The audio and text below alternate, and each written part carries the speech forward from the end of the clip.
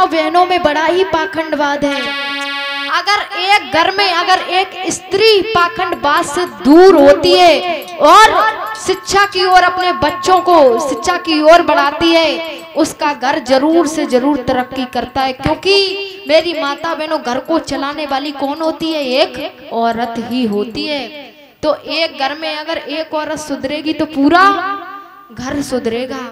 और मेरे भाई बहनों आप लोगों को बता दें, जिनकी तुम लोग पूजा कर रहे हो, जिन लोगों को मान रहे हो, एक बार उनके विषय में सुनो और समझो। तुम्हें नहीं पता, ये वही लोग हैं जिन लोगों ने हमारे राजाओं महाराजाओं को छल बल से मार दिया था। यहाँ की धन धरती छीन ली गई थी। इन लोगों ने और उसके बाद हमारे राजाओं महाराजाओं को राजा से रंग बना दिया और छल बल से इन्हें मार दिया, मेरी माता बहनों। इसलिए समझो कि ये नौ बहनें थी जो विदेश से चल करके आई थी। सुरा सुंदरी, सुरा माने समझते हो शराब और शराब लेकर के आई थी। और हमारे राजाओं, महाराजाओं को पता है महिषासुर को किसने मारा? हाथ खड़ा कीजिए। किसको मालूम है? महिषासुर को किसने मारा? किसने मारा? लेकिन पता है कि हमारे इस भारत में मारने वाले को भगवान बना दिया गया। भाई वाह। और जो मर गया, उसे राक्षस बता दिया गया। भाई वाह। कैसे राक्षस बताया? रावण को क्या बता दिया? राक्षस। दुराचारी था, अत्याचारी था, रावण को बताया। लेकिन भैया, मारने अच्छा आप ही बताओ, मारने वाला दुराचारी होता है या मरने वाला? अगर आप ही किसी का खून कर दो तो आप अत्याचारी बोले जाओगे। ना कि ना कि जो मर गया, उसे बोला जाएगा। ये गलत बात है कि नहीं? इसलिए है मेरी माता बहनों, पाखंडवाद से दूर उठो। क्योंकि ये पाखंडवाद में तुम्हें फंसाया गया, पत्थर पूजा में लगा दिया, ताकि तुम लोग शिक्षित, तुम्हारे बच्चे शिक्षित ना हो पाए। इसलिए आप पाखंडवाद से निकलो बाहर। और शिक्षा की ओर बढ़ो क्योंकि अगर पत्थर पूजा करोगे तो तुम्हारे बच्चे शिक्षित तो नहीं हो पाएँगे, क्योंकि वो पूजा पाठ में लगे रहेंगे। और पूजा पाठ में इन्हीं लोगों ने हम लोगों को लगाया ताकि तुम लोग शिक्षित ना हो पाओ। इसलिए शिक्षा जीवन में बहुत ज़रूरी है मेरी माता बहनों।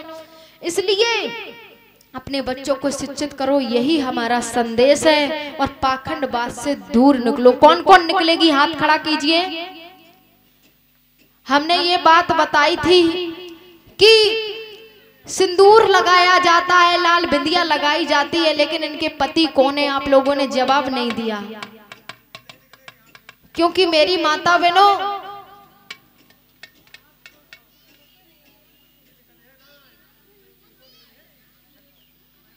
अच्छा पाखंडवाद से कौन कौन निकलोगे? हाथ खड़ा कीजिए। शिक्षा की ओर जाओ, क्योंकि शिक्षा से ही तो I S P C doctor collector minister गुलामी छोड़ सकते हो। अगर गुलामी करना तो गुलामी तो भैया होती है, जाओ मंदिर में जाओ, चुनरिया चढ़ाओ जाके। कभी बाबा साहब ने ये नहीं कहा कि हम पे बीरा बतासा चढ़ाओ आकर के। ये तो अपनी श्रद्धा अनुसार, क्योंकि हम सबकी ज़िंदगी के बाबा साहब ही हीरो थे। मेरी माता बहनों हम बेशक यहाँ के हमारे राजा महाराजा मूल निवासी हुआ करते थे, लेकिन हमारे राजा महाराजाओं की जब धन धरती छीन ली गई, हमारे राजाओं महाराजा को छल बल से मार दिया और राजा से रंक बना दिया। उसी समय मेरी माता बहनों, हम लोगों को जातियों में बांट दिया। और जातियों में बांट दिया और वर्ण व्यवस्था लागू कर दिया। अच्छा एक बताओ मनु स्मृति नाम किन किन लोगों ने सुना है? किन किन लोगों ने ये नाम सुना है? मनु स्मृति। अच्छा। और समदान किन किन लोगों ने सुना है? तो समदान किसने, किसका, उसके अध्यक्ष कौन थे? कौन थे? मेरी माता बहनों, बाबा साहेब ने बड़ी मेहनत के साथ संविधान को लिखा। और उसमें सबसे ज़्यादा महिलाओं के हक और अधिकार की लड़ाई लड़ी। लेकिन महिलाएँ तो भैया पूजा पाठ में जैसा उन्हें बहका दिया, उसी में चल रही है। आ जाओ, हम तुम्हें एक कहानी बता दें। हेलो। बोलिए तथागत बुद्ध की। बोलिए बाबा साहब की। हमारा ये भारत देश एक कहानी कहूँ एक कहानी कहूँ सुनते जाना।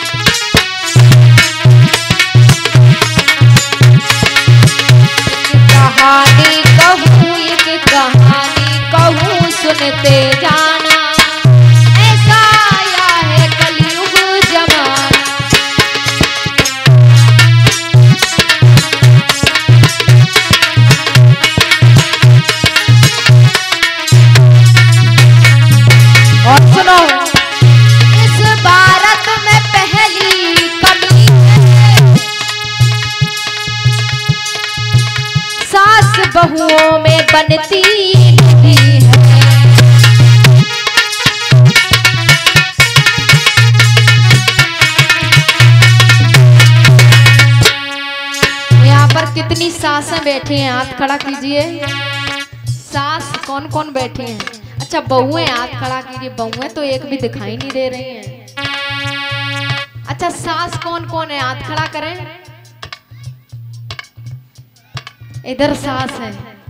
तो क्या आपकी बनती है घर में? हैं? बनती है? हाँ तो बहुत अच्छी बात बनती है। लेकिन भैया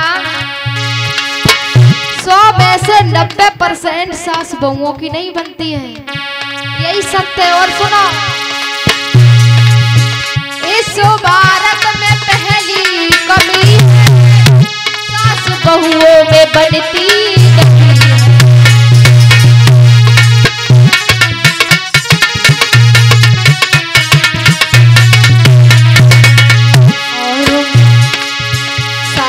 बहुवर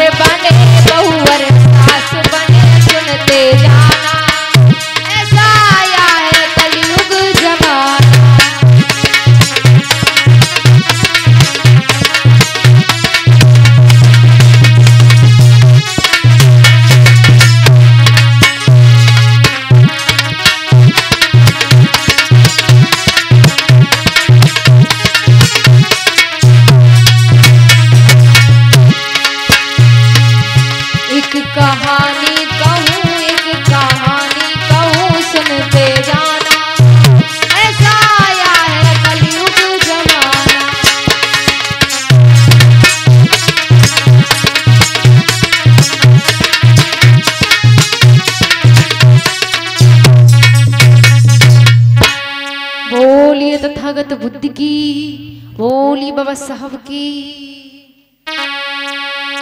आप आ जाइए। बड़े प्रेम से सभी भैया बहन खड़े हो